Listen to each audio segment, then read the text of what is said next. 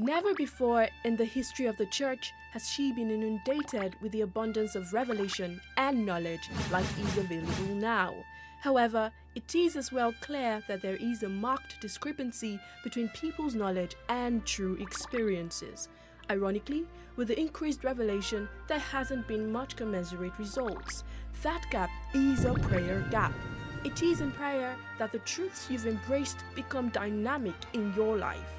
Join Ayo Ajani as he teaches on prayer and open heavens at our July prayer campaign and join a host of other believers in making heartfelt supplication and prayers. Date Sunday, July 31st. Time 4 p.m. prompt. Venue Plot 1, Block 94, Providence Street off Admiralty Way, Lekki Phase 1, Lagos. There will be free bus transportation from designated points. Surulere, Costain Bus Stop, Unilag, Medilag, and Yabatech. For more details, please call 0701 Petra CC, that is 0701 738 7222.